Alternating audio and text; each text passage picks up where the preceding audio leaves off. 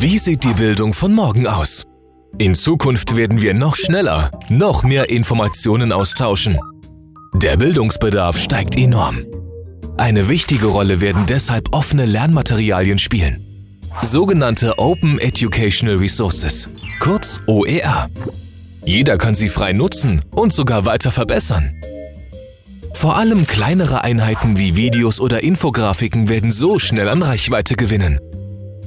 Das unterstützen wir und verleihen den Small Open Educational Resources Award, den Opera. Ob Video, App oder Online-Kurs, steht der Wissensbaustein unter freier Lizenz und ist er maximal sechs Minuten lang, gilt schnell bis zum Einsendeschluss einreichen. Eine fachmännische Jury kürt den Sieger. Die Preisverleihung findet auf der nächsten LearnTech statt. Opera. Jetzt bewerben. Übrigens, wir suchen auch Juroren.